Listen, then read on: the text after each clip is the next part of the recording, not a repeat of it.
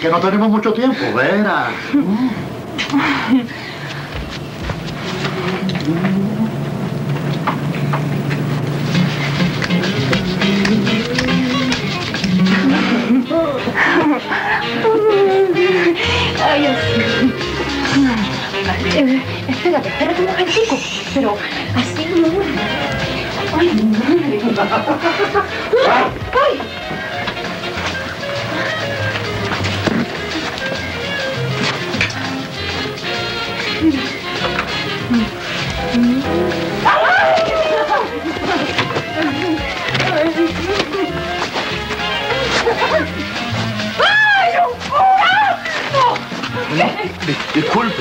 siento mucho.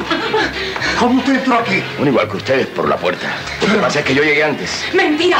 Usted estaba ahí detrás escondiendo para mirarme. Espera, creo que yo no vi nada.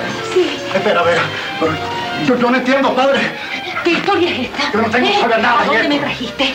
¿Qué es lo que hace este cura aquí? Momento, momento, Vera. Vamos. Padre, ¿qué usted hace aquí? No, yo soy amigo de Pablo, el me dio la llave. Usted también tiene llave. ¡Ay, mierda! Mis días el viernes. Lo cambié para el sábado. Se lo dije a Pablo. Lo que pasa es que yo llegué hoy y tenía que quedarme aquí. Sí, pero él tenía que haberme avisado. ¡Vamos! Tal vez no tuvo tiempo. Las cosas que están pasando en el país. Eh, es verdad, una revolución. Revolución un carajo. Un golpe militar, un cuartelazo.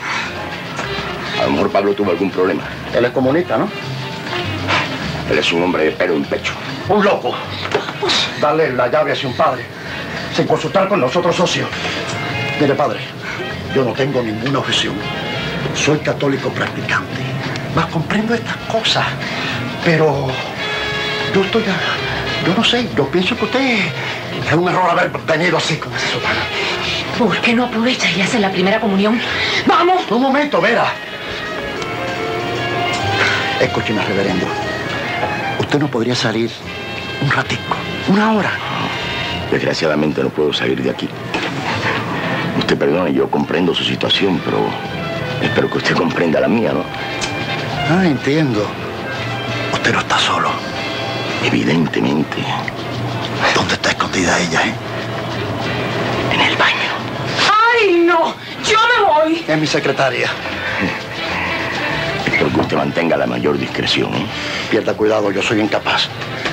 Pero insisto que usted no debía haber venido con esa sotana. ¡Vamos! Que a ella le gusta así. Entiendo. Es cerebral, ¿no? Más o menos. Usted y yo no nos conocemos de otro lugar, padre. ¿No? Yo creo que no. Es curioso. Bueno, buenas tardes, ¿eh? Buenas tardes. ¿Ah? Felicidades. ¿Dónde voy con ella ahora? ¿Usted no tiene automóvil? ¿W? No, claro, es un poco incómodo, pero... ¿Qué vamos a hacer?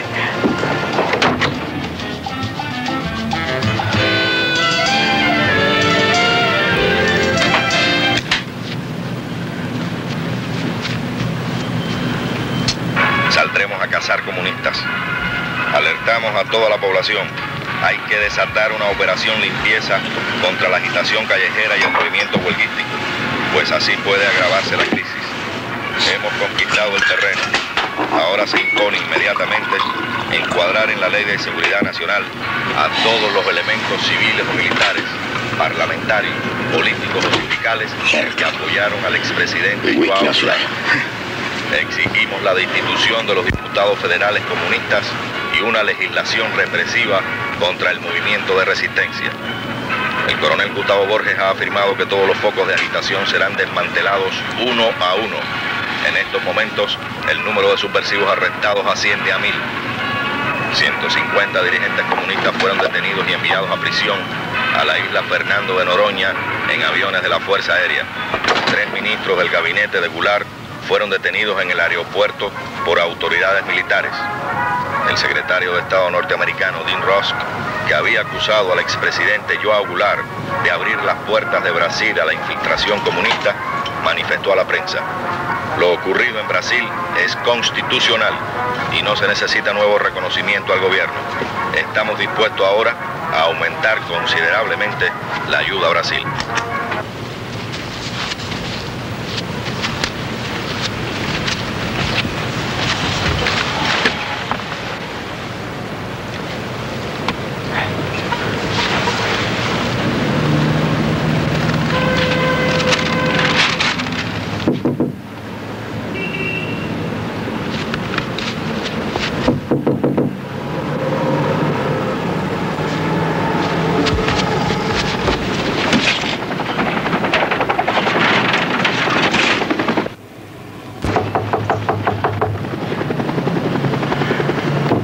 ¿Quién es?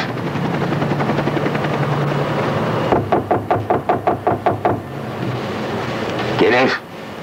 Sergio, soy yo, Nara.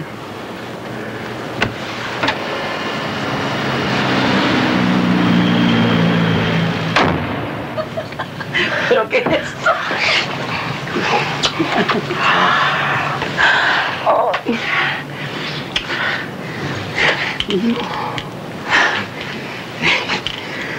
Fue así como pude escapar. Cuando rodearon la redacción, llamé a mi hermano y me mandó esta sotana. Y así pude salir tranquilamente. ¿no? Bueno, tranquilamente, es un decir. Nací entre los soldados aterrados. Si pudiera mandarte a hacer una foto y llevarla al periódico Globo. Ves que vale la pena tener un hermano cura. Yo que últimamente estaba convenciéndole para que colgara los hábitos. Fue mi salvación.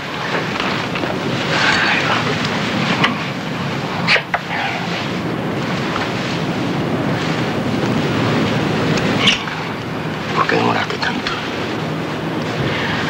Estaba deseando tanto que llegaras. Vine en cuanto Pablo me dijo dónde estabas. Estoy aquí desde ayer. Pero solo recibí el recado hace un ratico. Anoche no pude avisarte. Pensé que Pablo lo haría hoy por la mañana. Pero yo vi un teléfono por ahí y me ha llamado. Pero yo no soy loco, ¿no? Ese teléfono debe estar chequeado. Si no es que el de la casa. ¿No te habrá seguido alguien? No, creo que no. ¿Crees o tienes la certeza? Bueno, cuando venía para acá me encontré con un muchacho mientras cruzaba la calle que me preguntó si yo iba a entrar en este edificio.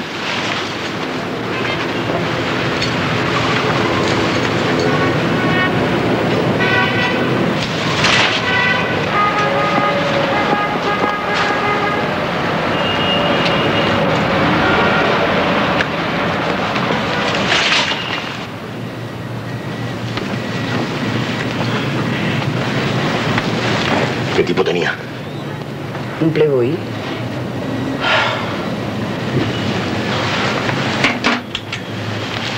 Entonces no es de la policía. Claro.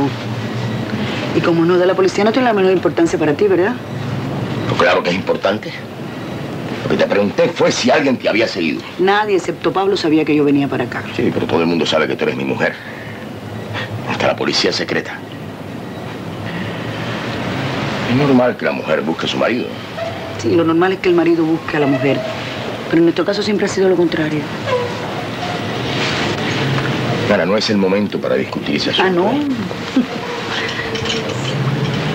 Es que tú no entiendes, ¿no? Puedo caer preso en cualquier momento. Preso, torturado, fusilado. ¿Tú no te das cuenta? Ya estuvieron en la casa. ¿Quién? La policía, el ejército. No es Scotch, es nacional. Yo no tengo el paladar tan exquisito como el tuyo. No me respondiste. Ya estuvieron en la casa. Ay, no hay hielo. ¡No! El único que estuvo buscándote fue el cobrador de la enciclopedia británica. Por cierto, hace mucho tiempo que no la pagas, por, parece, ¿no? Yo lo que quiero es que enciclopedia, es que el mismo imperio británico se vayan para la puta madre que los parió. Ven acá. ¿Pudiste esconder alguno de mis libros? Ay, tranquilízate, por favor. Me están haciendo una pesadilla de brujas. Tranquilízate. Ya lo preví todo. ¿Cómo? Los quemé todos. Todo lo que te podía comprometer. ¿Los quemaste? Sí. El Capital.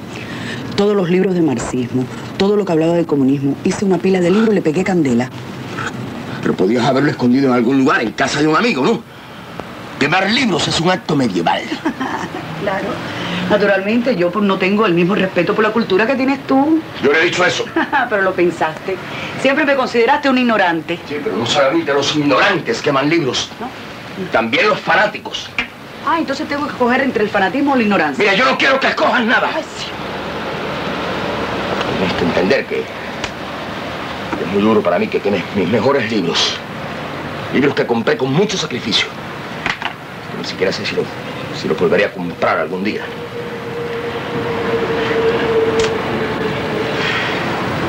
Puede ser. No dramatices, por favor. Mira. Pensé que era lo más seguro. Solo pensé en tu seguridad. ¿Eh?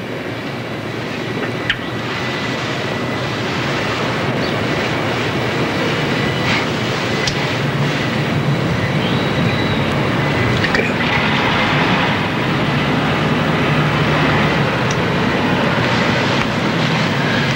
Ay, ¿Cómo están los muchachos? Está bien. Pero... No sé, quiero decir... ¿Cómo reaccionar? Luciano se quedó pegado al radio los dos primeros días esperando una reacción de nuestro lado.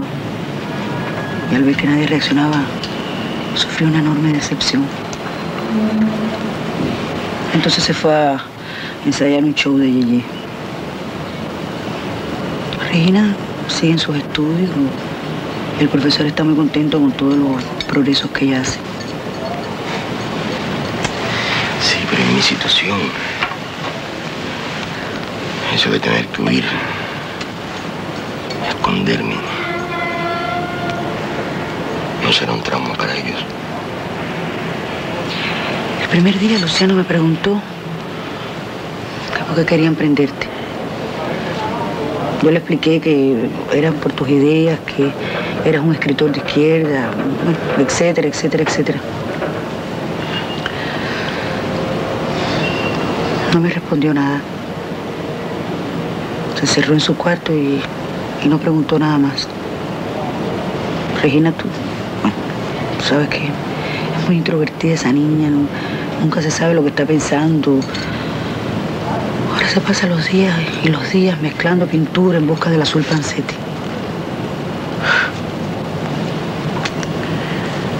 Debí haber politizado a mis hijos. Esa historia de no querer inculcar ideas. Que ellos descubran la verdad por sí mismos.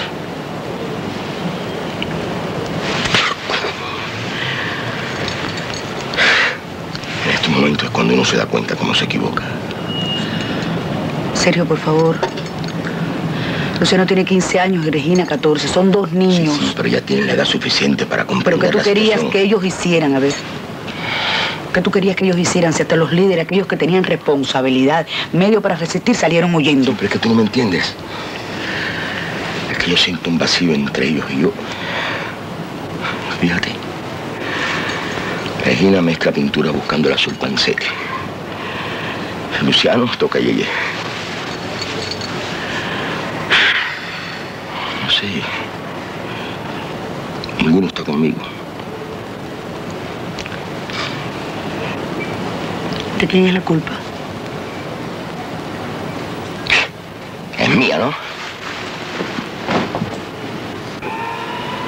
Hago lo que hace cualquier padre. No. Tú siempre estás ocupado. Tú siempre estás escribiendo. Siempre trabajando. Sabe trabajar. Es preciso escribir. Exactamente. De eso se quejan ellos. De que cuando no estás escribiendo, estás pensando. El hombre piensa. En eso se distingue de los otros animales. Pero en ti esa diferencia es excesiva y egoísta. Egoísta. Tú solo piensas en tus problemas. ¿Has venido aquí para decirme todo eso? No vine aquí para decirte eso. Lo que siempre tuve el deseo. Tú vives tu mundo particular, del cual solo sales cuando se te demorona, como ahora. Y entonces te quejas, pero es tu culpa. Es que yo no sé cuándo tú me vas a comprender. Creo que nunca. Ya te he explicado miles de veces que todas las personas tienen maneras diferentes de, ver las cosas. ¿Tú me entiendes? Entiendo que me consideras siempre una retrasada mental. Para intelligent. Eso dices desde que nos casamos. Hace 16 años. 15. Por favor, no me encara un año más. Sí, ya sé. Que yo tenía seis meses de embarazo cuando nos casamos. Por favor. Yo no lo dije por eso. Creo que sería una verdadera idiotez. Pero claro que es una idiotez. Los grandes hombres también tienen sus debilidades. Ahora me estaba acordando de un prefacio que escribiste para un libro, no sé de quién, sobre sexo. Y decías, el perfecto conocimiento sexual de los cónyuges antes del matrimonio no solamente es admisible como un acto social, sino que también es moralmente necesario a fin de evitar futuros y trágicos desajustes. ¿Pero qué viene eso ahora? El país convulsionado, yo aquí escondido, vestido ridículamente como esta bata de cura. Estoy hablando de prefacios que escribí hace años. Sé cuándo. Sobre las relaciones preconyugales. Puro surrealismo. Ay, por favor. Yo no vine aquí a discutir ese asunto en este momento. Solo quiero demostrarte que tus palabras frecuentemente están en contradicción con tus actos.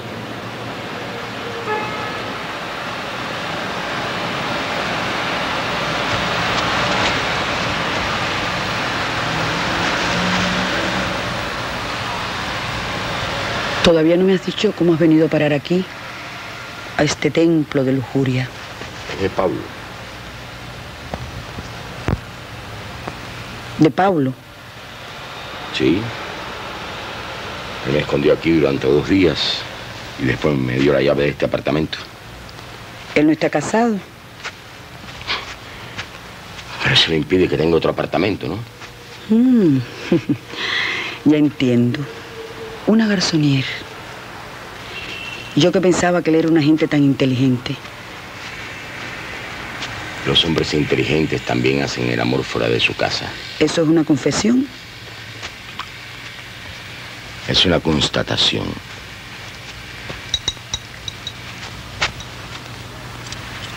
Entonces tú sabías que Pablo tenía este apartamento. ¿No? Yo no lo sabía. Un proyector. Imagino lo que se verá aquí.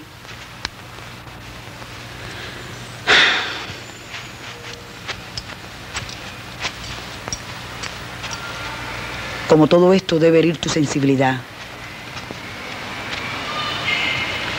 Pablo. Pablo tiene un mal gusto.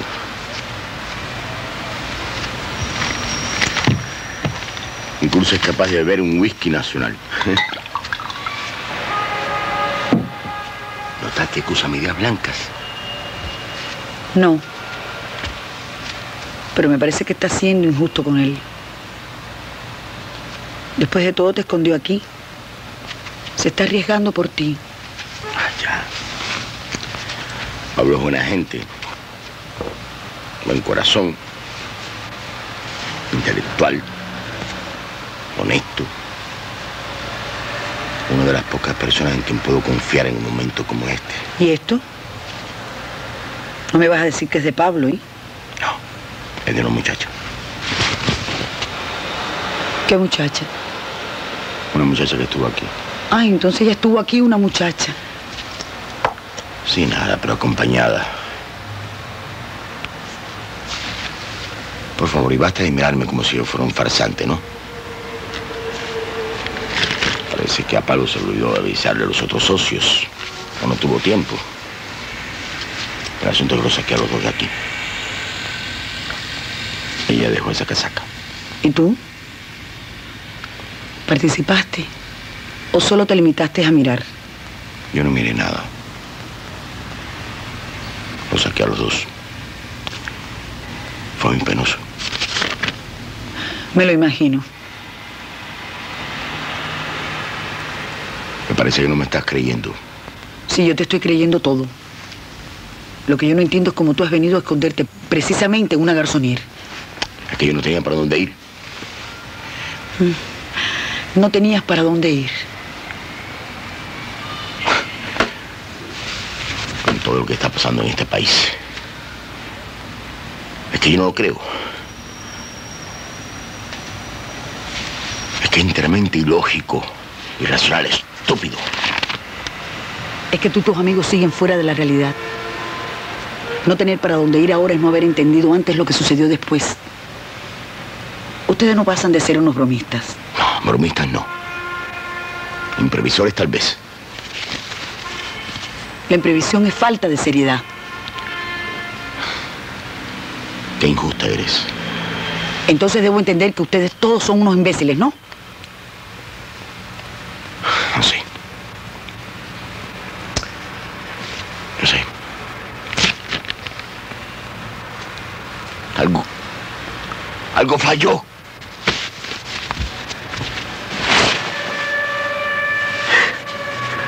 Fuimos engañados. Elaboramos una táctica con datos falsos. Informaciones falsas. Eso es. El día 13 de marzo, Yango anunció las reformas de base. Íbamos a inaugurar un nuevo Brasil.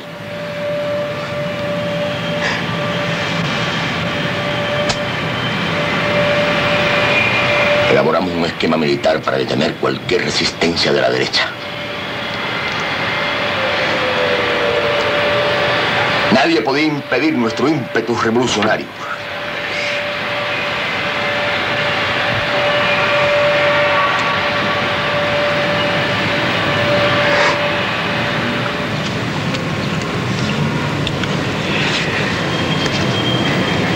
Y de repente, todo se desmoronó. Como un castillo de naipes.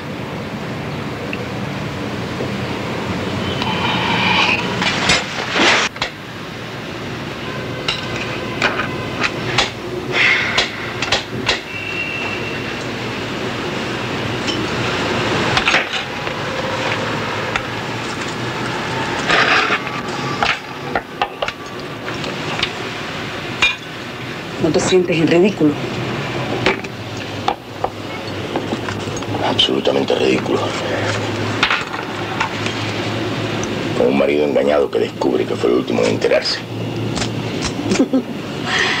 Perfecto. Así te vas habituando a esa sensación. Eso es una grosería que está fuera de lugar.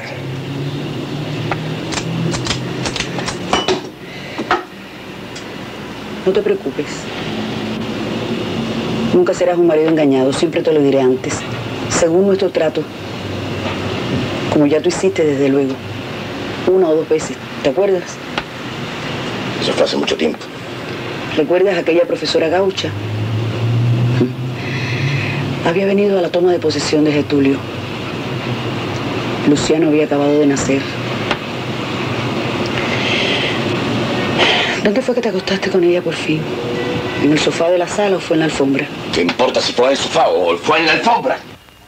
Cuarto, me dijiste que te ibas a acostar con ella. Me explicaste que era, que era un impulso irresistible, muy elevado. Sí, y que aquella unión carnal iba a ser algo muy bello. Y que no debía sentirme disminuida por eso, no, al contrario. Que me engrandecería ante tus ojos si recibía aquello con superioridad y hasta con satisfacción. Porque entre las piernas de la profesora ibas a buscar algo que estaba mucho más allá del sexo. Algo indefinible y raro, que te haría salir y volver a mí enriquecido en tu humanidad. Mira, yo nunca admití copular por el simple placer sexual, como un animal. Eso sí sería despreciarte. Muchas gracias. Pero la otra vez fue con Cibele. Mi amiga Cibele. Eso me lo dijiste al día siguiente. Hicimos el amor debajo del aguacero. En aquel tiempo tú y yo hacíamos el amor siempre debajo de la lluvia. Antes de almuerzo.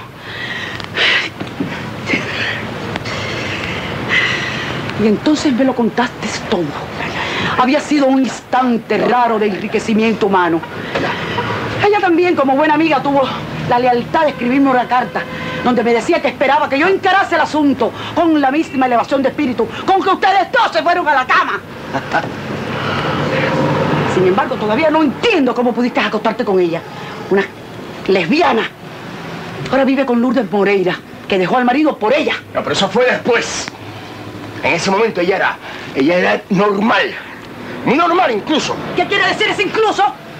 Quiero decir que en la conjunción carnal se portaba como cualquier hembra se porta cuando es poseída por un macho. Mm, y aquel instante indefinible y raro, aquel enriquecimiento del humano, es igual como los perros y las perras. Querida, el mecanismo del placer siempre es igual, evidentemente. Lo que cambia es la motivación. Cuando el intercambio del placer en el nivel del sexo no está acompañado por el intercambio de las emociones en el nivel del espíritu, entonces nos pasamos de ser simplemente animales. El sexo es el medio de comunicación más antiguo. El más antiguo y el más eficaz. Pero lo importante es lo que se comunica. No soporto cada vez que asumes esos aires de profesor. Aunque debo reconocer tu competencia en el asunto. Ah, muchas gracias. Tanto en la teoría como en la práctica. El hombre en su praxis. Mira, no me vengas con consignas marxistas. Porque en cuestión de sexo, ustedes que odian tanto a Freud tienen mucho que aprender de él.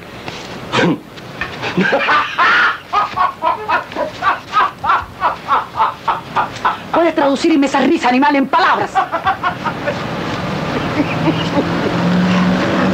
Mira, en primer lugar los animales no se ríen, porque eso es muestra de inteligencia. Además, en segundo lugar, los aportes que estás dando al marxismo con tus problemas sexuales.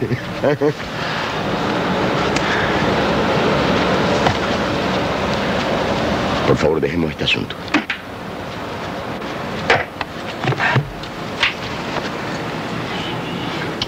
Porque yo soy una cretina. Yo no dije eso. Que no está a la altura de discutir con un profesor, ¿no? ¡Ya, viniste a irritarme! ¡No! Tú eres un cobarde que nunca atacas de frente.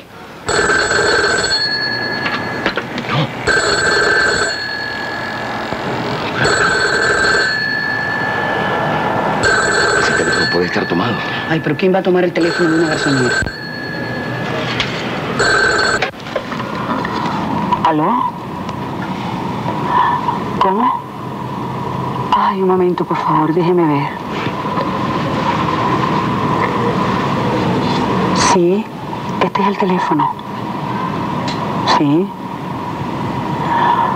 Ay, perdóname, es que estoy un poco groggy. Este hombre no me deja vivir, no me da tregua. Sí, es un reverendo. Sí, es un bárbaro. Sí, él está aquí. Puede venir cuando quiera. Pero no ahora, por favor. Ahora va a decir nuestra misa. Chao, querido. Chao. ¿Quién era? El fulano de la fulana de esa chaqueta. ¿Qué es lo que quería? La chaqueta. ¿Y vienen ahora? Mm. Van a demorar. Están en un hotel por aquí cerca. El, el presidente depuesto. El país a punto de comenzar una guerra civil. Todavía los hoteles están llenos de parejas que se dedican a las delicias de la fornicación. Esto es un país de alienados. En una sociedad llena de preconceptos en contra del sexo, hacer el amor también es una forma de rebelión. ¿No fuiste tú quien dijo eso, queridito? Sí, pero no es hora de ir a la cama, sino de levantar barricadas. ¿Y tú porque estás aquí? ¿Qué puedo hacer yo solo? Porque nadie hace nada. Es porque nada se soluciona. No, mis armas son otras. Escribiendo puede hacer más daño al enemigo, como ya lo hice. Con un fusil soy capaz de, de hacer baja en mi propio bando. Eso, eso es verdad. Pero no es precisamente porque tus armas son otras por las que tú estás escondido aquí. Tú me conoces. Yo, no nací para caer preso. Yo amo, yo amo la libertad. El espacio, el aire.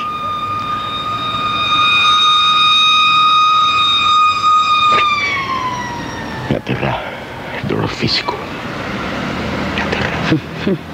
Si los lectores de tu columna oyeran esa confesión, se quedarían muy decepcionados. El periodista panfletario, violento y corajudo, sin pelos en la lengua.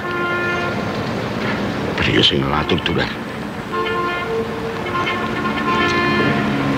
Que no, no me lo van a perdonar.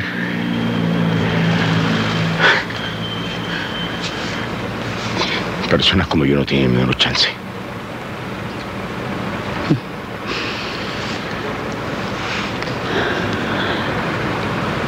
Te voy entendiendo. Te telefonearon de la redacción. ¿Quién llamó? Reinaldo, diga a nuestro Don Quijote que es tiempo de Sancho Panza. ¿Qué más? No hablo claro. En estos tiempos nadie habla claro. Todo el mundo habla en medias palabras o metáforas. Pero creí entender que te están esperando en el periódico. No te lo dije. Ellos están locos por cogerme. He cogido tanta gente ya. Que estoy seguro que yo no me voy a quedar fuera. Porque me odian. Me van a agarrar.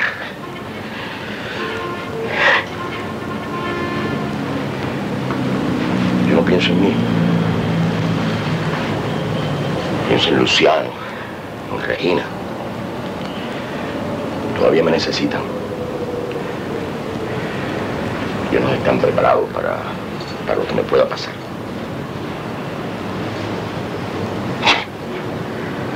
Es simpático. La gente que lee tanto, que estudia tanto, se queda con la cabeza llena de ideas sobre la educación. Cuando las va a aplicar,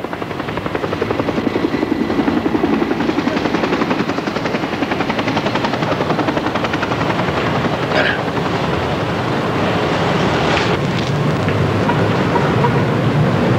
¿Tú crees que mis hijos me quieran? Sé sincera.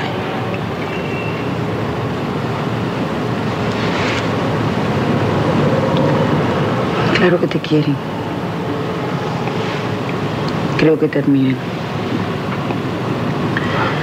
Pero no son tus amigos. ¿Por qué? ¿Quieres que te lo diga? Sí, sí, yo quiero.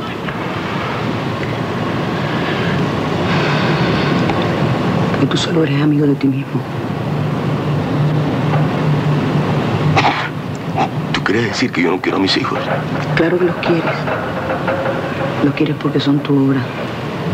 Los quieres porque son tuyos. Pero también los quieres como quieres a tus libros. O cualquier otra cosa que hagas. Solo por eso.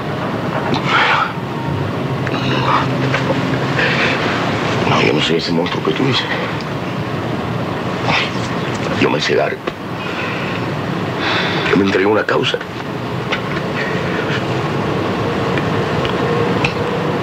Yo me entregué a ti.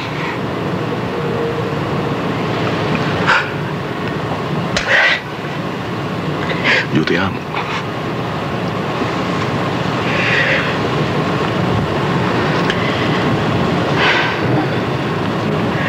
Porque crees que me modelaste. Porque crees que me hiciste y eso es también verdad. Aunque me revelo conmigo misma cada vez que lo reconozco. Yo no te modelé. Nos ajustamos el uno al otro. Como el whisky con la copa. Entonces, ¿por qué me persiguen? ¿Por qué sigo amenazado de prisión? ¿Por qué he estado toda mi vida vigilado?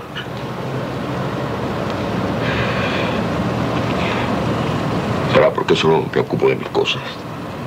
De mi vida, de mí mismo. Porque siempre defendí ideas que están en contradicción con lo que estás diciendo. Mira, yo, por ejemplo, como intelectual, pequeño burgués de éxito, bien pagado. El régimen capitalista es excelente. Desde el punto de vista material, en el socialismo, en el comunismo, se lo voy a perder. Así que yo, un monstruo de egoísmo, voy a defender ideas que solamente van a beneficiar a los demás, ¿no?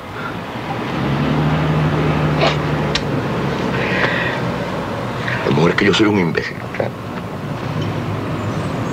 Eso es lo que yo no entiendo. Hay muchas cosas tuyas que en 16 años en vida en común han sido suficientes para que yo las entienda. Creo que nunca las voy a entender. Aunque vivamos toda la vida. Eso es verdad. Medias verdades apenas. Como todas nuestras verdades. Nunca nos atrevemos a llegar al fondo del pozo. Podemos hacerlo. Vamos a llegar al fondo del pozo si quieres. Es mejor no arriesgarse.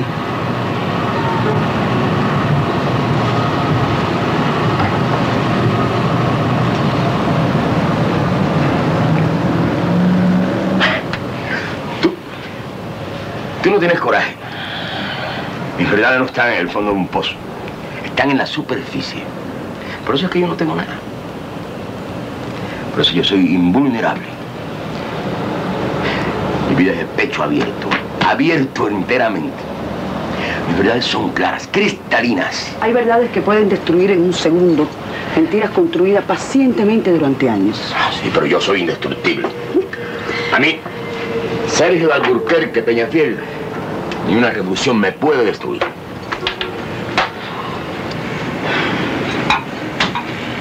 Coñac, se acabó el whisky.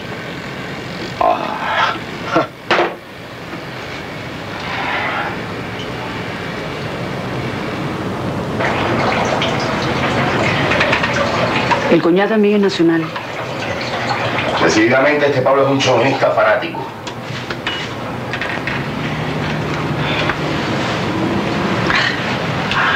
Estaba pensando una cosa. En el funcionario público ese, ese que estuvo hoy aquí. ¿Qué funcionario? El que estuvo con la muchacha. Él dice que es católico practicante. Como piensa que yo soy cura, a lo mejor es capaz de denunciarme. En ese caso tendría que denunciarse a sí mismo. Sí, pero a lo mejor puede hacer una llamada anónima a la curia. ¿Y tú eres cura acaso para temerle a la curia? Pero si la curia viene y descubre que yo no soy cura, se va a armar tremendo escándalo. Le llamo para, para decir que viene por la, casa, por la casaca, ¿no?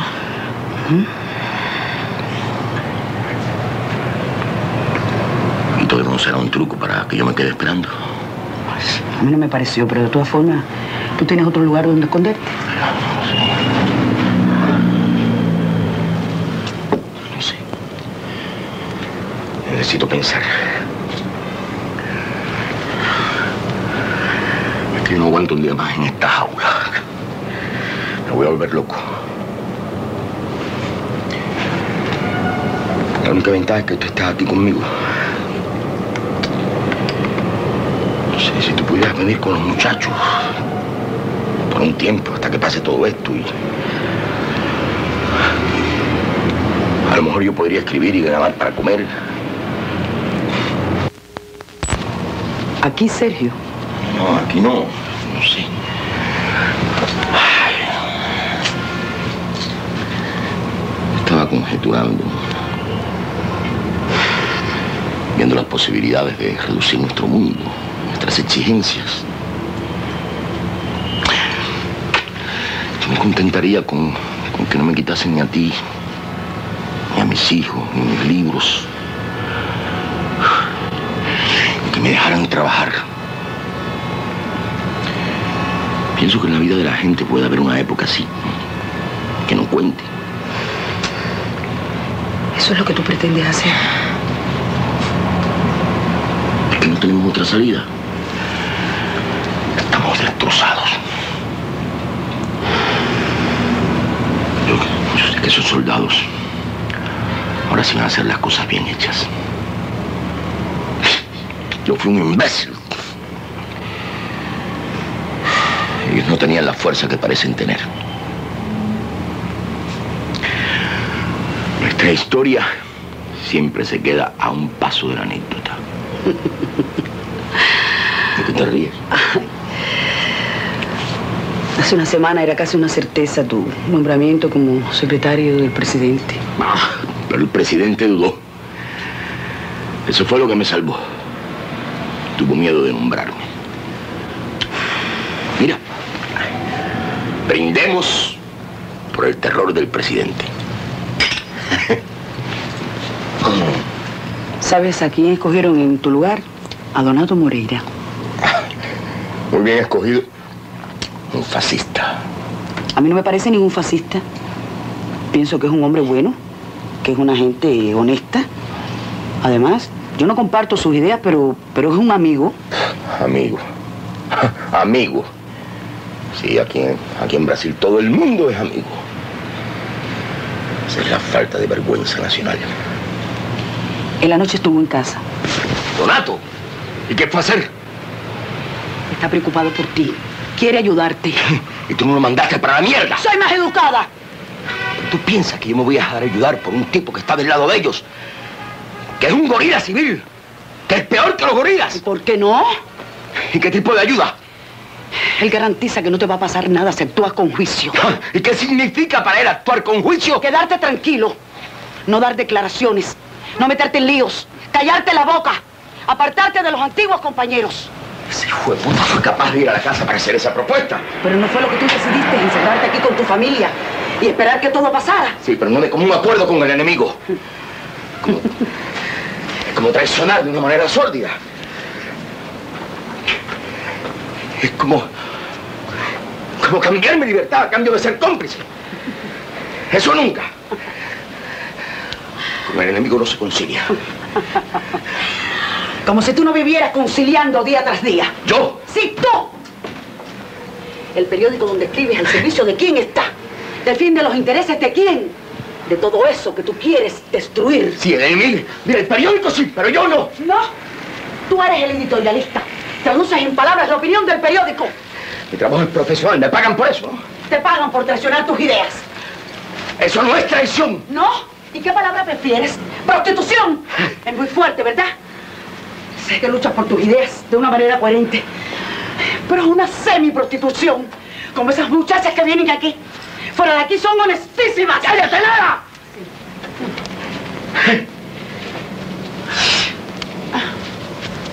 Hay que separar al hombre del profesional. Al editorialista le pagan para que escriba lo que se ha decidido. No importa lo que él piense.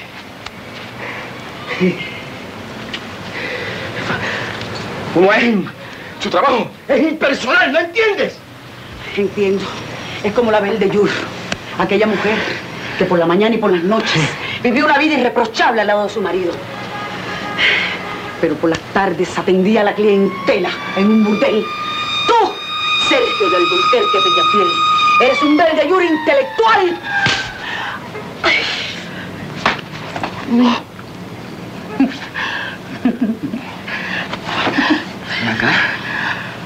¿Te acuerdas que antes de casarnos fuiste conmigo a la cama?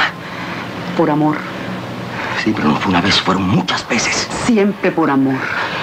Y que antes de mí también fuiste con otros. También, También fue por amor. también.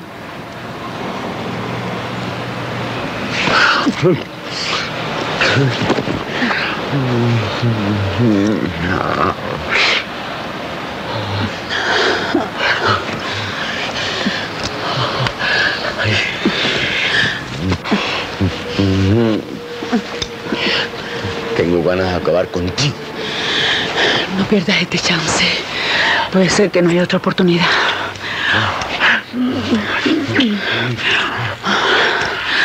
Ponte la sotana. ¿Para qué? Póntela.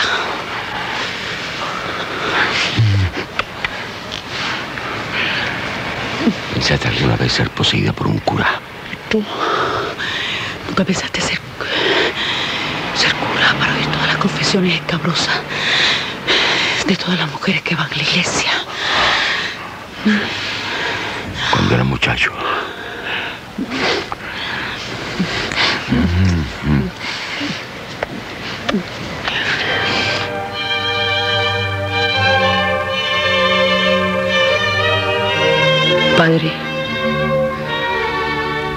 yo creo más en el demonio que en Dios. ¿Por qué? Porque Dios es una idea vaga, abstracta. El demonio no. Es concreto. Lo sentimos. Cuando hacemos el amor, libramos un montón de ellos. Solo en esa hora, cuando la gente es capaz de liberarlos. Normalmente los tenemos muy bien guardados. Eso está mal. Una criatura no puede andar cargada de demonios. Puede traer una complicación intestinal. Pero es que los demonios se esconden en el fondo de aquel pozo del cual hablamos. Perdón, fue con usted con quien hablé eso. Fue con mi marido. Pero para liberarlos hay que descender hasta el fondo del pozo. Él insistió en eso. ¿Y usted? Yo me negué. ¿Por qué? No sé. Falta de valor. Tal vez pena. ¿De quién? ¿De él? Solo se siente pena por los infelices. Y su marido me parece que no... Es un hombre muy débil. A mí me parece lo contrario. Me parece un hombre de gran fuerza. Moral. Intelectual. Eso lo hace vulnerable. O mejor dicho, la conciencia que él posee esa fuerza lo hace ser autosuficiente, egocéntrico, vanidoso, cruel, cobarde. A veces.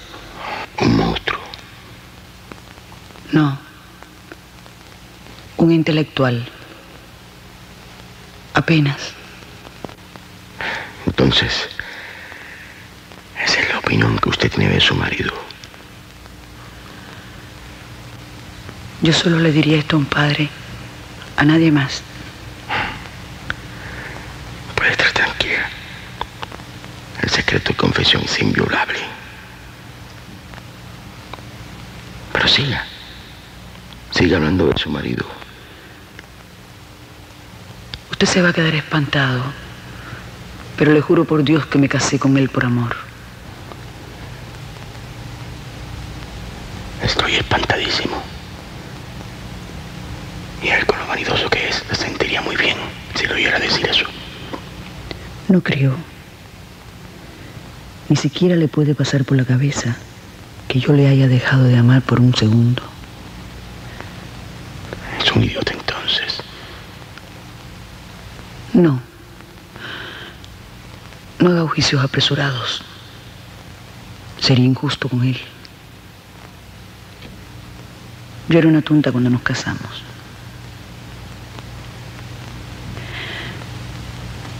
Era una muchacha que empezaba a descubrir a Simón de Beauvoir, que comenzaba a beber desordenadamente un montón de ideas sobre sexo, existencialismo. Él había acabado de llegar de París. Venía de un curso en la Sorbona. Había publicado su novela con mucho éxito.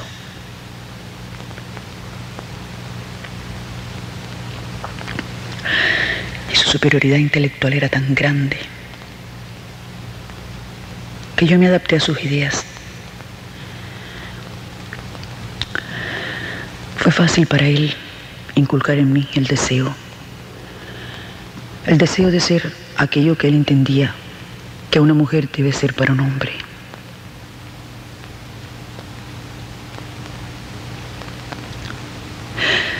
Como un perro amaestrado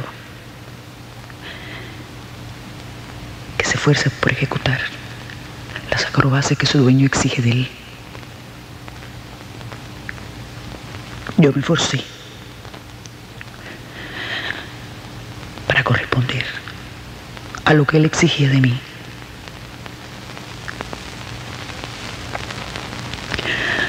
Dócilmente.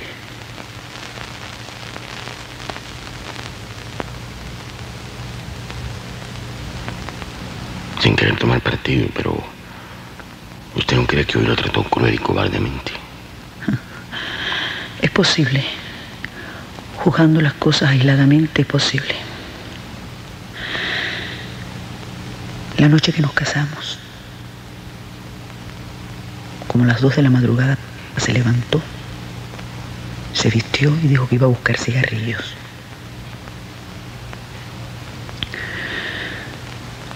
Volvió dos días después. Sus primeras palabras fueron, disculpe querida,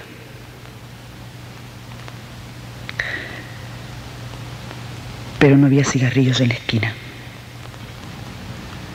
Y era mentira. No, era verdad. Media verdad. Y el resto de la verdad no se la contó. Me la contó.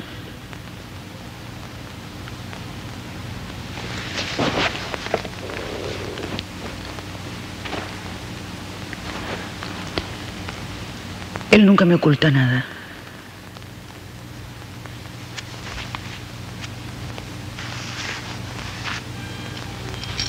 Mientras buscaba los cigarrillos americanos se encontró con una amiga francesa,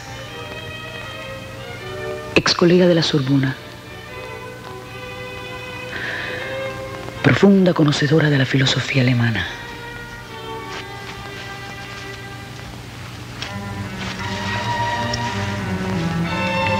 Ella se lo llevó para su apartamento.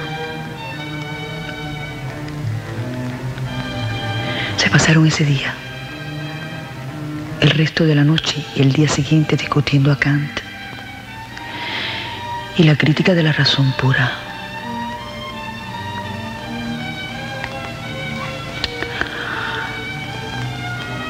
Hicieron el amor, evidentemente. Pero eso es un detalle sin la menor importancia. Sin duda. Ellos fueron empujados a la conjunción del amor. Por la necesidad de darse el uno al otro toda la riqueza del universo kantiano. Este asunto es para tratarlo como un psiquiatra, no como un cura.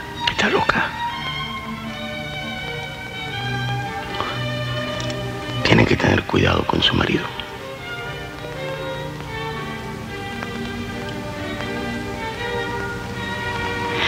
Por eso no le he hecho.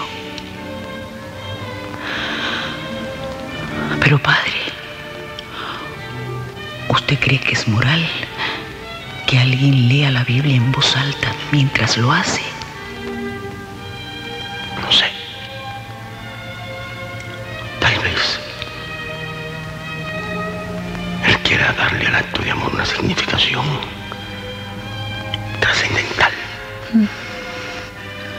Si fuera el cantar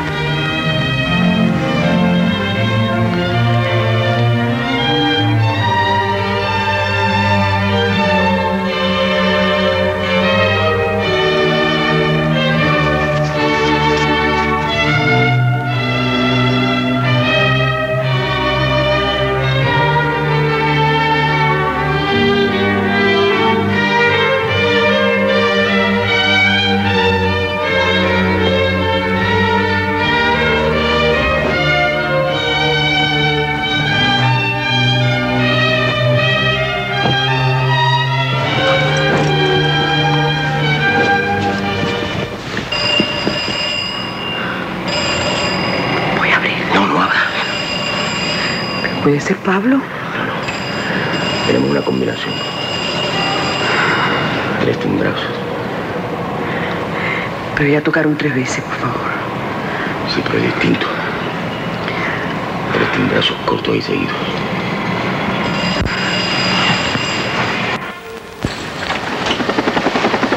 Perdona, pero he tocado el timbre varias veces. ¿Lo oí? Estaba durmiendo. ¿Dónde está él? ¿Quién? Vamos, yo sé que usted está con un cura. ¿Usted es de la policía? Pierda cuidado, que la policía no va a venir. El socio de los domingos es también policía. Hola, padre. Con su permiso voy a recoger la chaqueta. Eh, y perdone tanta interrupción. No, pero por favor, Nosotros somos los que pedimos disculpas. ¿por qué tanta prisa? Tómese un trago con nosotros. Ella está fuera esperándome. No importa, llámela. Está penada por el padre. Ay, eso no tiene la menor importancia. ¿Pero por qué molestar a la muchacha? Ay, no es molestia, cariño. Vamos a tomarnos un trago, llámela. Bueno. Vera, cariño. Nos invitan a entrar. ¿Entrar? Ay, no. No le costó una gira, querida. Es solamente para tomarnos una copa de coñac. Es Adelante. un poco tarde ya y hay que- Eres casado. ¿Y ella? También.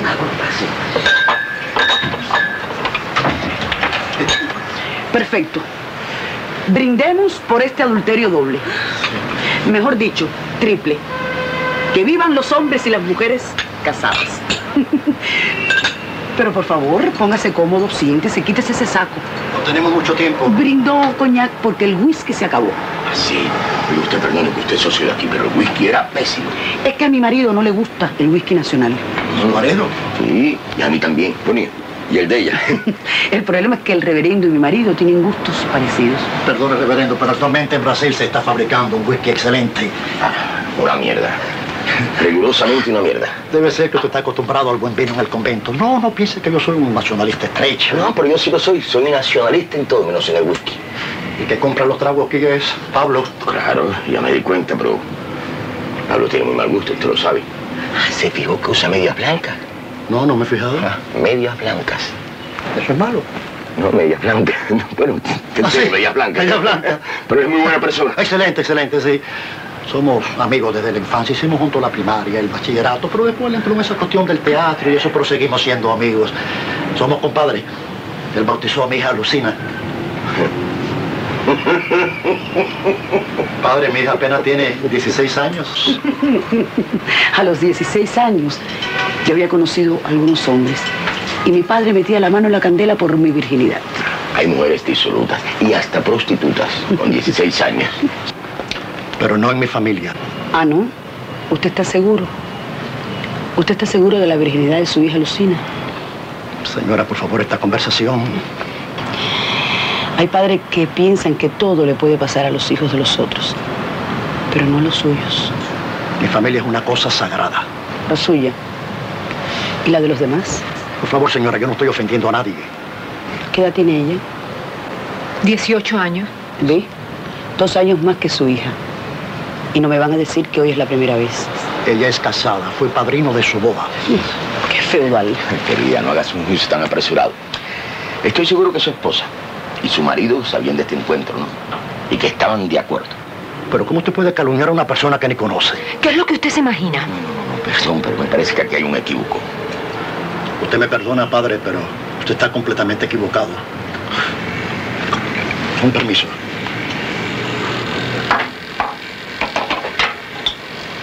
Mire, padre, nosotros somos personas decentes. Yo soy un hombre respetable, jefe de un departamento. Tengo cuatro hijos.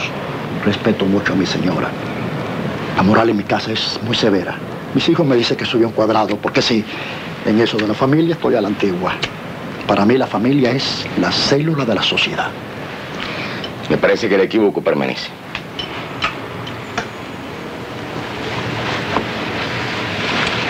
Lo que yo estoy tratando es de encontrar una justificación moral para vuestra fornicación. ¿Justificación moral? ¿Y es justificación moral que mi mujer y el marido de ella lo sepan todo? ¿Eso es moral? ¿Mm? Eso es inmoralísimo. Inmoralísimo sería que ellos participaran del acto. Ay, Dios mío. Yo nunca había oído a un cura hablar así. Vera, Vera. Por favor, padre, por casualidad el marido de ella sabe que usted está aquí. Claro que lo sabe, pero es un hombre muy inteligente. Sabe, sabe diferenciar entre libertinaje, deseo animal y necesidad de comunicación. ¿Necesidad de comunicación? Por otra parte, cuando él siente la necesidad de relacionarse con otras mujeres, yo soy la primera en saberlo. Iguales condiciones. Esa igualdad es teórica, pero en la práctica, simplificando, para todos, él es extravagante y yo soy la puta. Completamente injusto. Bueno, yo no sé si será injusto o no, pero la sociedad tiene que, que protegerse. La mujer no puede tener la misma libertad sexual que el hombre. Ella es la que procrea. Los hijos tienen que tener padres legítimos, si no es el caos. Sí, sí, sí, sí, sí, claro. Los hombres sí pueden hacer hijos ilegítimos en cualquier otra mujer. Pero, por ejemplo, ¿usted le puede haber hecho un hijo ilegítimo ya a ella? Imposible, ¿Por qué? porque nos cuidamos. Los límites de la sociedad burguesa no serán traspasados. A ver, dígame, ¿por qué ustedes tienen que hacer esto a escondidas? ¿Por qué usted no va a su mujer y le dice, mira, querida, eh, mi secretaria y yo tenemos la necesidad imperiosa de comunicarnos más profundamente? Fuera de las órdenes de servicio, los memorándum, las llamadas telefónicas, eh, por lo tanto me voy a acostar con ella. ¿Usted quiere que yo le diga eso a mi mujer? ¿Y por qué no? Yo estoy seguro que ella se lo va a entender.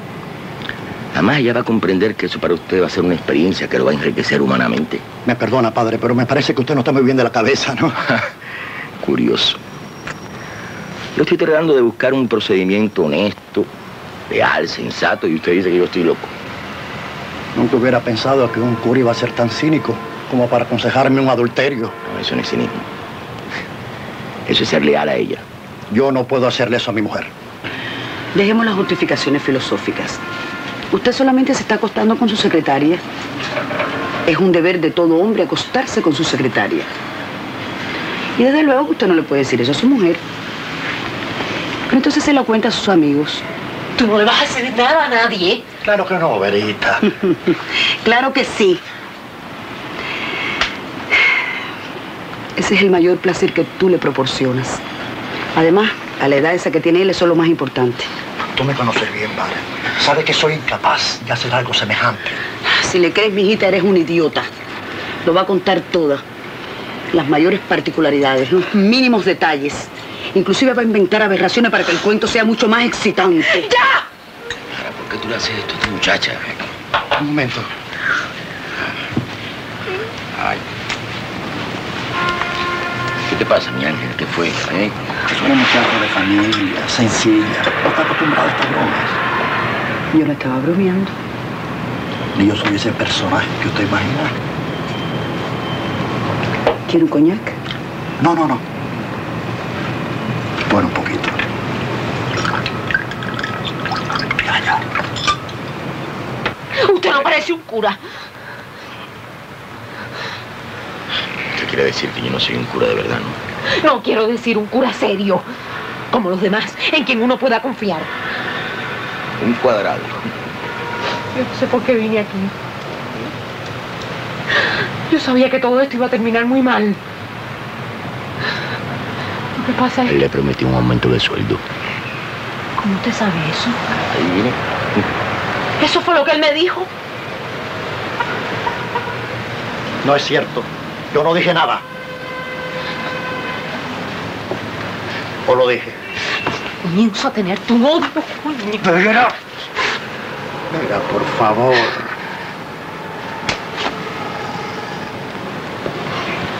No te hagas ahora la víctima, ¿eh? Desde que empezaste a trabajar conmigo, te has pasado todo el tiempo provocándome con tu pierna cruzada, tus minifaldas y tus confesiones. Padre, usted no puede imaginarse lo que significa para un hombre que de pronto su secretaria recién casada le diga que su marido sufre de inhibiciones. Por más controlado que uno te pierda la cabeza. Es eso, ¿no? Que perdone, padre. Sobre todo cuando ella es su ahijada. ¿no? Fue ella la que inventó eso de que yo fuese su padrino en el casamiento. Yo solo quería tu protección. Solo eso. Sí, pero yo no tuve que insistir mucho para que salieras conmigo. Sabía mis intenciones. No te vengas a hacer la santa ahora delante del padre. Tú me dijiste que tu mujer había aumentado 30 kilos. ¿Eh? ¿Eh? Y a mí me dio mucha lástima contigo. Por favor. Era. Eh, ¿Qué te sientes? eh? A ver. Es que cuando yo me molesto me dan ganas de vomitar. Voy al baño. Sí, ella bebió mucho. No, ella es así. Cuando se molesta, siempre le pasa. Eso es una muchacha malcriada. Gasta todo su dinero en psiquiatra. Está vomitando, voy a verla. Sergio, quédate ahí. Pero si la muchacha necesita ayuda. Ella sabe manejarse sola. No es un caso de extrema opción. Por favor, Nara. Nunca me decepcionaste. No decepciones ahora.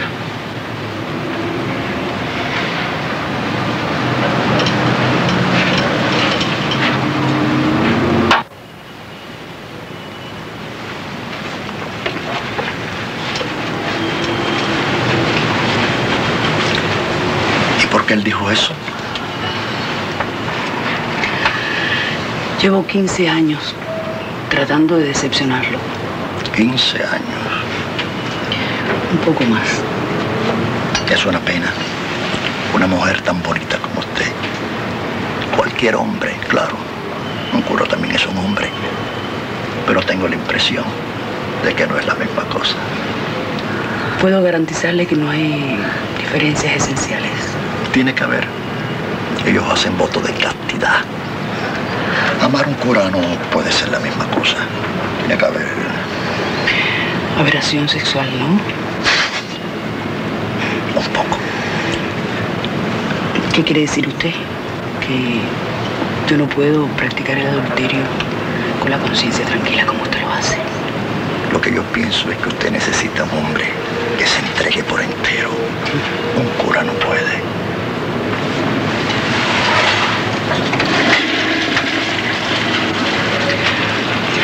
¿Quiere decir que necesito un hombre como usted?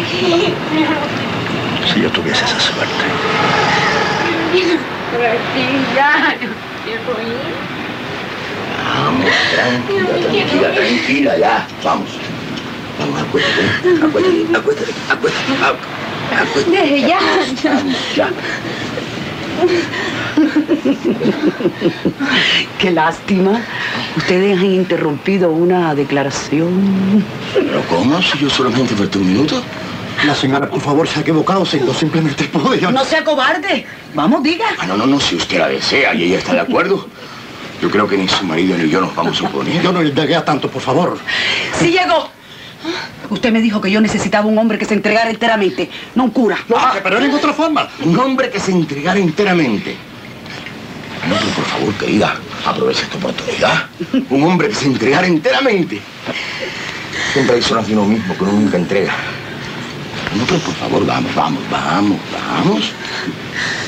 Ay, usted, usted pertenece a esa, a ese tipo, a esa raza de hombres inhibidos, ¿no? Por favor, padre. Vamos. Mira, desgraciadamente yo no puedo salir de aquí, pero... ¿Vamos? ¿Qué pasa? ¡Vamos! No hay derecho, no tengo derecho en lo que, en lo que usted hace. Hay derecho, ¿no? Pero su derecho es venir el sábado aquí y traerla escondida. Esa es su ética. Nunca pensé en hacer eso. Nunca pensé en nada, sin nada concreto. Lo que dije fui sincero. Apenas una frase. ¿Oíste nada? Tú sigues siendo el mismo Sergio de siempre. Oye, está muy rara. Es posible que me ponga mucho más rara todavía. No te entiendo. No entiendo. Ni yo tampoco entiendo nada de lo que pasa aquí. Ustedes están jugando a cosas que no se deben jugar. Vamos, Vera, vamos. No. Ella no puede irse, se siente mal. Yo solo me mejoro con un tranquilizante que el médico me mandó. ¿Y cómo se llama? Mire, aquí hay una receta.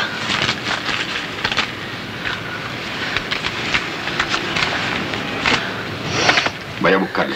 ¿Yo? En la esquina hay una farmacia. Vamos. Carga más aspirinas.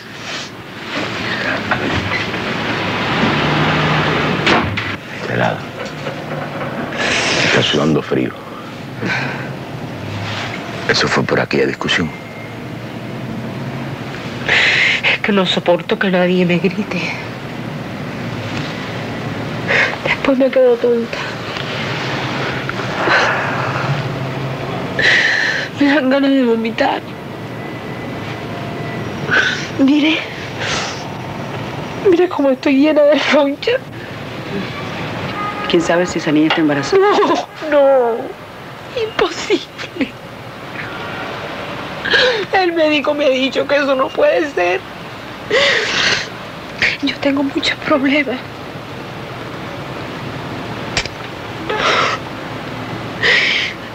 Estoy hablando mucho, ¿verdad? ¿Sí? Los aburro. No, no, no, no, no, no. Por supuesto que no. Yo sé que la gente me encuentra aburrida cuando hablo de mí. Hable, hable.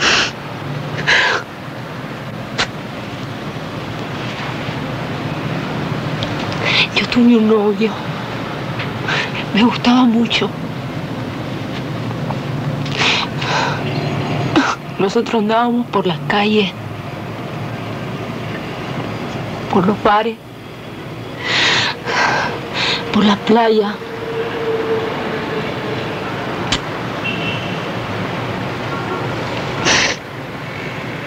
Vivíamos una vida muy desorganizada. Por eso me tuve que ir de mi casa. Hasta que un día me dejó por una negra. No es que yo sea racista. Bueno, todo el mundo dice que no lo es. Yo lo soy, pero es que yo no estaba preparada para eso. Para que él me cambiara por aquella cosa. Es que aquello no pasaba de ser una cosa. Cosa blanca que él cambiaba por una cosa negra.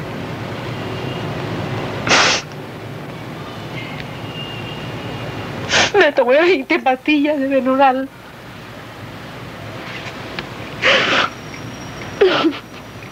Y me fui para el policlínico. Cuando me desperté,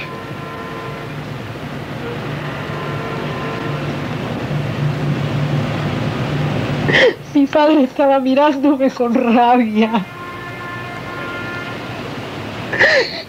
Y días después me llevó para un abortero. Que arrancó dentro de mí un niño de cuatro meses.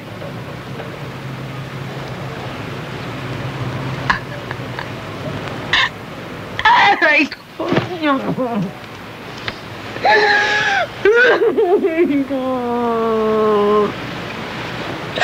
¿Por qué lo hizo?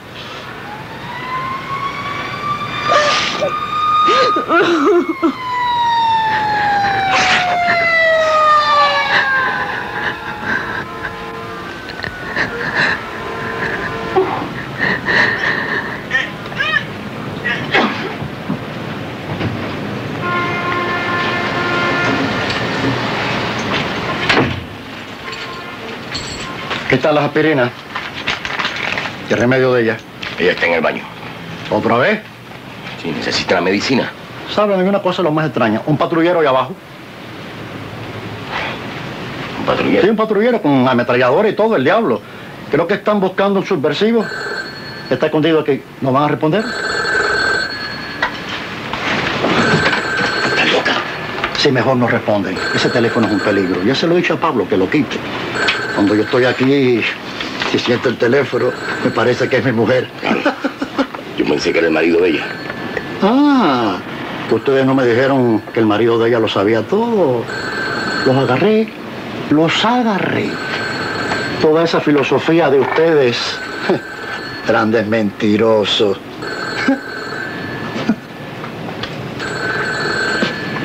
No te lo dije. Alguien te siguió. ¿Y tú lo sabes?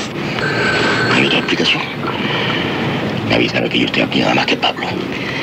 Si me hubiesen seguido ya estuvieran aquí arriba, no allá abajo. Sí, pero... O sea, a lo mejor alguien te debió entrar en el edificio. Cualquier apartamento. Aquel muchacho. ¿Qué muchacho? El playboy. El Playboy.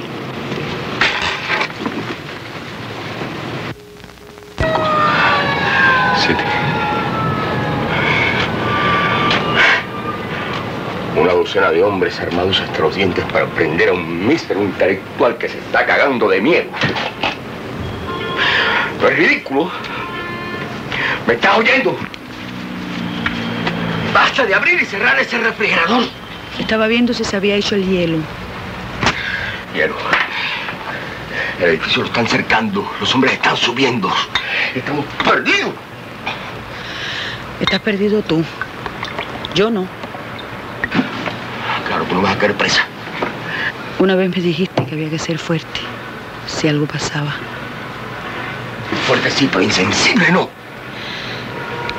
Es una manera de ser fuerte. Hoy he tomado una decisión, serio. A veces yo pienso que tú quieres que yo caiga preso.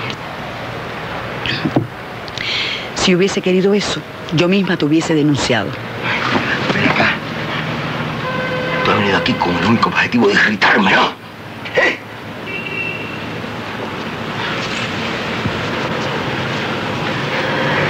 Tenemos que decidir rápidamente lo que vamos a hacer. Ayúdame, aunque sea solo en eso, ¿eh? ¿Yo? ¿Qué tú quieres? ¿Mi opinión? Por favor, yo no estaba discutiendo esas cosas. Bien. Mi opinión es la siguiente. Hay dos caminos. Tienes que resistir o entregarte. ¿Tú vas a resistir?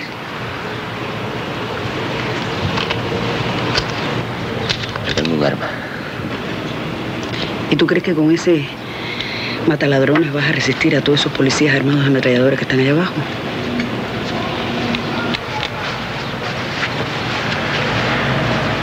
Yo estaba pensando en otra cosa. Claro. No hay condiciones para la lucha armada. Creo que debes buscar una salida política. ¿Cuál? Donato, por ejemplo, ¿Traicionar?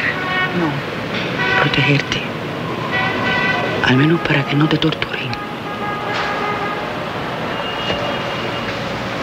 Sí, él podría ayudarme. Él es un equivocado. Pero ahora, ahora tiene fuerza. Yo no sé quién es el equivocado. Si él o tú. Pero tú no puedes comparar mi actitud con la de don Donato Moreira. No, porque yo hice una opción. Por eso me persiguen, por eso quieren prenderme. Porque yo nunca me corrompí. ¿No te corrompiste qué? Nara, ya, ya. Tú respondes a las mismas reglas del juego que él. ¿A ti qué te pasa hoy? Está muy rara. Soy la misma mujer de siempre.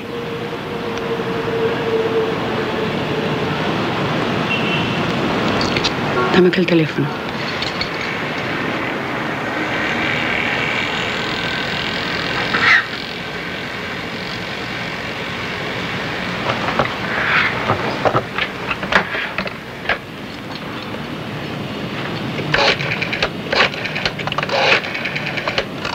¿Qué estás haciendo? Estoy llamando a Donato.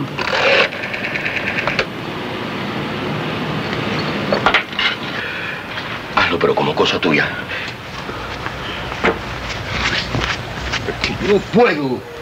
Es que yo no puedo. Es que yo no puedo caer preso así. Es que sería ridículo. Es una locura. No responde nadie. Pero está sonando. ¿eh? Sí, pero no responde nadie. Claro. ¿Qué hora es? Las cinco. Él estaba esperando mi llamada. ¿Tú hiciste una cita con él? Sí. ¿Y para qué? Para comunicarle tu decisión. Yo no entiendo nada. ¡No entiendo nada!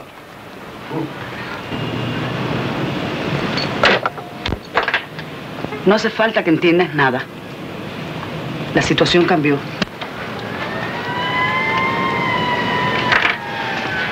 Hoy vine aquí con una decisión. Pero no contaba con este cerco. Con tu prisión tal vez. ¿Y cuál es tu decisión? Dejarte.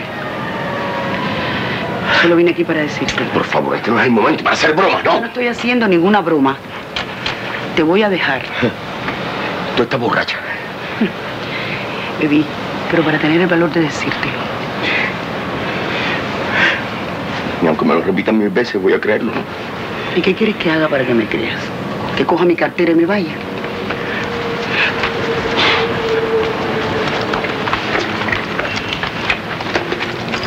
¿Estás hablando en serio? Que tienes la llave de la casa.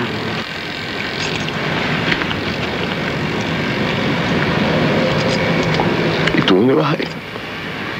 No sé. Estás esperando este momento, ¿no? Cuando yo estoy a punto de caer preso. Yo no escogí este momento. Pero está claro que no te voy a dejar así ahora. No, claro. Yo no necesito tu piedad. No es eso. Es que yo no voy a recuperar mi libertad en el momento que tú la pierdes.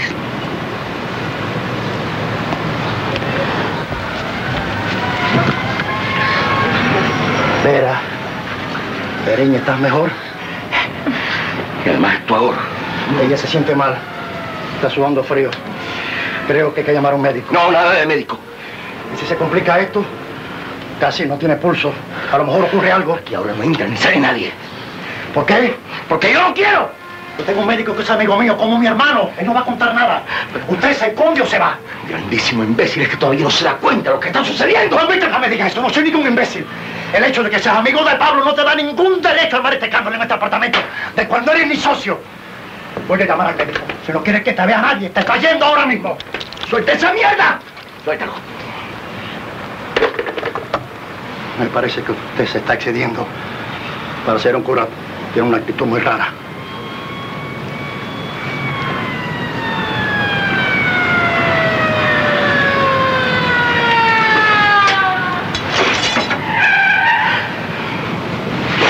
Culpa tu viejo. Usted no es un cura. A usted lo está buscando la policía. Ah, prodigio de Un perspicacia. subversivo. Es usted quien buscan. Y tú vas a denunciarme, ¿no? Vas a denunciar. Yo no soy un suplón. No me he metido nunca en política, pero si vienen a prenderte nos van a llevar a todos. Va a tener que escoger entre la corrupción y la subversión. No le veo la gracia. Ustedes van a acabar con todo, con mi familia, con mis hijos, con mi posición. Mira la mierda a su familia, a sus hijos, su posición. No me importa a mí que todos se jodan. Usted es un egoísta, nada más que piense sí. Sí, porque yo no tengo nada que perder. Usted sí, usted sí. Al carajo, mire sus falsos conceptos de moral y respetabilidad. Al carajo su mujer gorda, su secretaria. Además, si yo soy el causante de toda esa destrucción, seguro que no voy a tener el más mínimo remordimiento. Usted es un anarquista, un anarquista, un anarquista. Yo no sé lo que soy. Sergio, mira, si salgo de aquí, puedo ir a buscar a Donato.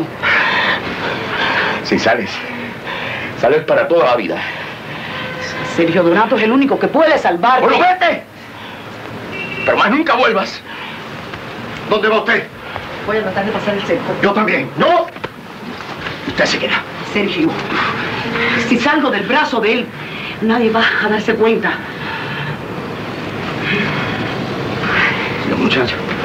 Mándela para su casa.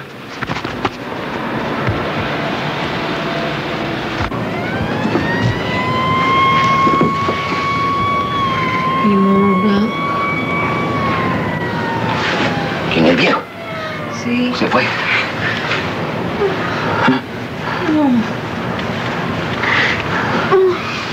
Sí. Ellos no van a poder pasar. Seguramente están exigiendo alguna identidad. Cuando se enteren que es mi mujer. Y él no va a volver. ¡Claro que no! Me dejó aquí con usted. Ay, no. Ya tienen tiempo para, para haber llegado ahí abajo. O no, no sé. Si no aparecen ahora es que han caído presos. Yo no entiendo nada. ¿Usted está huyendo de la policía? ¡Claro que sí! ¿Y por qué? ¿Qué hizo? ¿Qué fue lo que yo hice? Hasta ahora pensaba que yo había hecho algo. Pero hoy comienzo a pensar que yo nunca hice nada. Que yo no he hecho nada. Mira, ahí está el viejo, ¿Dónde? allá abajo. ¿Y a ella? ¿La cogieron presa? Ay, yo me quiero ir para mi casa. Yo tengo a mi marido esperando. Váyase. Usted me Váyase. deja ir, por Dios. ¡Váyase! ¡Váyase! Váyase. Váyanse. Váyanse. Váyanse.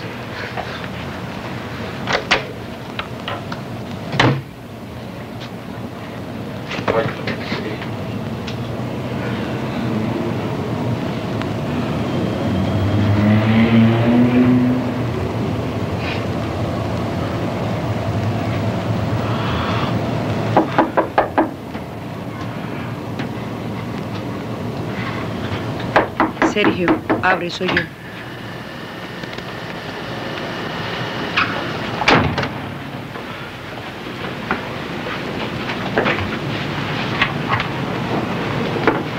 Volví. Claro. La policía. No llegué al elevador. Me arrepentí. Y Donato. Fue una náusea. Pasó. ¿Y por qué decidiste volver? ¿Así? Tal vez porque todavía te quiero tanto. A pesar de todo.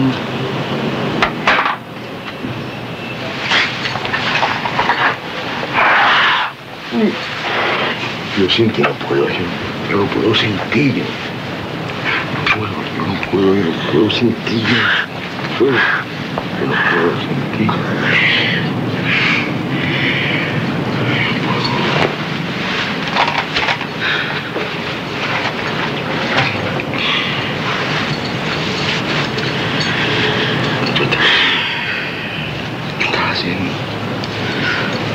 Quiero que nos encuentren así.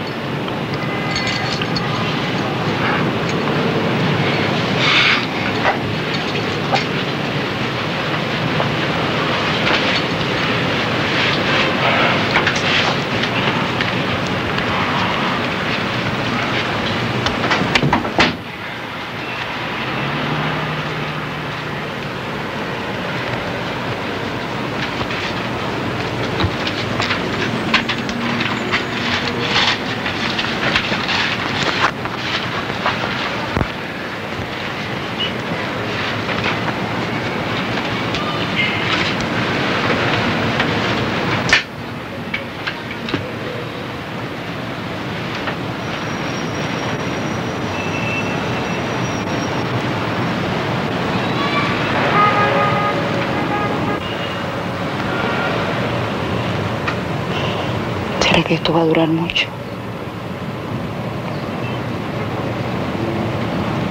No sé.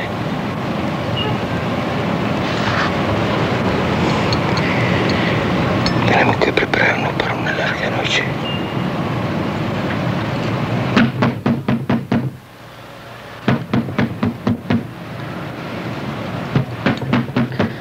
Ahora son ellos.